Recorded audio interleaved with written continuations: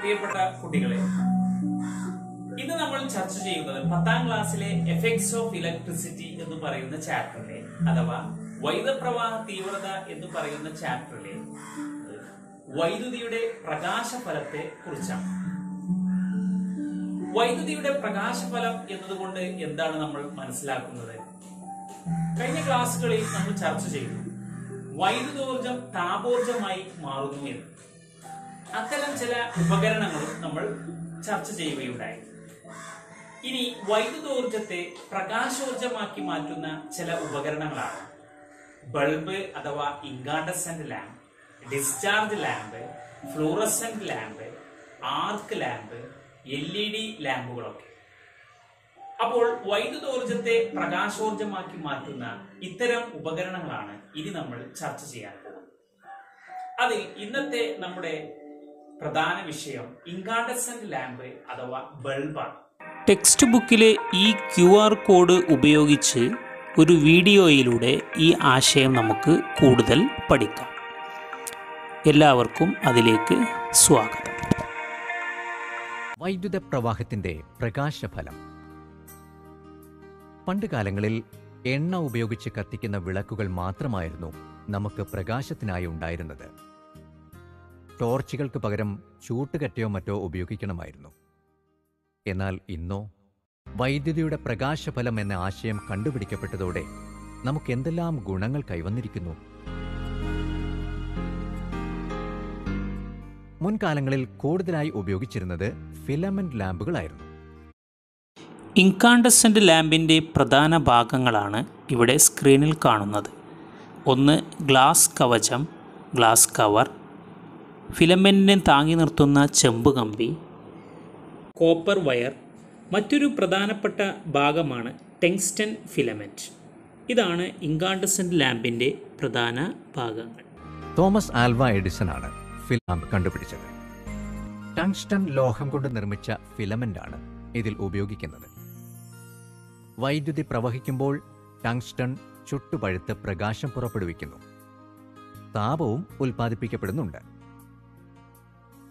താപത്താൽ തിളങ്ങുന്നത് എന്ന അർത്ഥത്തിൽ ഇവയെ ഇൻകാൻഡസെന്റ് ലാമ്പുകൾ എന്നും വിളിക്കുന്നു. ടങ്സ്റ്റൺ ലോഹത്തിന് പല സവിശേഷതകളുണ്ട്. ഇതിന് ഉയർന്ന റെസിസ്റ്റിവിറ്റി അഥവാ പ്രതിരോധമുണ്ട്. ഉയർന്ന ദ്രവണാങ്കമുണ്ട് ഉയർന്ന ഡാക്ടിലിറ്റി ഉള്ളതിനാൽ നേർത്ത കമ്പികളാക്കാനും കഴിയും. ചുട്ടുപഴുത്ത് ദീർഘനേരം ധവളപ്രകാശം പുറപ്പെടുവിക്കാൻ കഴിയും. ടെങ്സ്റ്റൺ എന്ന് പറയുന്ന ഫിലമെന്റിന്റെ അഡ്വാന്റേജസ് ആണ് ഒന്നുകൂടി പറയുന്നത്. High resistivity high resistance high melting point high ductility ability to emit white light in the white hot condition ഇതൊക്കെയാണ് പ്രധാനപ്പെട്ട ടെങ്സ്റ്റന്റെ അഡ്വാന്റേജസ് ഇൻകാൻഡസന്റ് ലാമ്പിന്റെ ഉള്ളിലെ ശൂന്യസ്ഥലത്ത് കുറഞ്ഞ മർദ്ദത്തിൽ നൈട്രജൻ വാതകം നിറച്ചിരിക്കും. ബാഷ്പീകരണം പരമാവധി കുറയ്ക്കാനാണിത്. മാത്രവുമല്ല വായുവിന്റെ അഭാവത്തിൽ നൈട്രജൻ പൂർണമായും അലസമായി വർദ്ധിക്കുന്നു താപനിലയിലുണ്ടാകുന്ന നേരിയ വർധനവ് നൈട്രജന്റെ വികാസത്തെ ബാധിക്കുകയുമില്ല. ബൾബിന്റെ ഉൾവശം വായു ശൂന്യമാക്കിയില്ലെങ്കിൽ എന്തായിരിക്കും ഫലം? വായുവിന്റെ സാന്നിധ്യത്തിൽ ടെങ്സ്റ്റൻ ഫിലമെന്റിലൂടെ വൈദ്യുതി കടത്തിവിട്ടാൽ അതിന് ഓക്സീകരണം സംഭവിക്കുകയും കത്തിപ്പോവുകയും ചെയ്യും. ഈ ഓക്സീകരണം ഒഴിവാക്കാനാണ് ബൾബുകളുടെ ഉൾഭാഗം വായു ശൂന്യമാക്കുന്നത്. അതായത് ബൾബിന്റെ ഉള്ളിലുള്ള വായുവിനെ റിമൂവ് ചെയ്യുന്നത്. പകരം അവിടെ അലസവാതകം നിറക്കും. ഇവിടെ ബൾബിൽ നിറക്കുന്നത് നൈട്രജനാണെന്ന് മനസ്സിലായല്ലോ? ബൾബിനുള്ളിൽ അലസവാതകം നൈട്രജൻ നിറച്ചിരിക്കുന്നത് എന്തിനായിരിക്കും? ഇങ്കാണ്ടസന്റ് ബൾബിനുള്ളിൽ കുറഞ്ഞ മർദ്ദത്തിൽ അലസവാതകങ്ങൾ നിറക്കുന്നതിനാൽ ഫിലമെന്റിന്റെ ബാഷ്പീകരണ നിറ നിരക്ക് കുറച്ച് ഉയർന്ന താപനിലയിൽ പ്രവർത്തിപ്പിക്കുവാൻ സഹായിക്കും. അതായത് ഫിലമെന്റുകളുടെ ആയുസ് വർദ്ധിപ്പിക്കുവാൻ സാധിക്കും. മാത്രവുമല്ല ബൾബിന്റെ ഉൾഭാഗം കറുത്തുപോകുന്നത് തടയും. ഏത് താപനിലയിലും ബൾബിനെ പ്രവർത്തിപ്പിക്കുവാനും ഈ അലസവാതകം ബൾബിനെ സഹായിക്കുന്നുണ്ട്. അപ്പോൾ ഇനർട്ട് ഗ്യാസ് ബൾബിനുള്ളിൽ ഫിൽ ചെയ്തതിന്റെ ആവശ്യകത നിങ്ങൾക്ക് മനസ്സിലായല്ലോ? ഇവിടെ ഒരു ചോദ്യം ശ്രദ്ധിക്കൂ. ഇൻകാണ്ടസന്റ് ലാമ്പുകളിൽ ഫിലമെന്റായി നിക്രോം ഉപയോഗിക്കുന്നില്ല. എന്തുകൊണ്ടായിരിക്കും?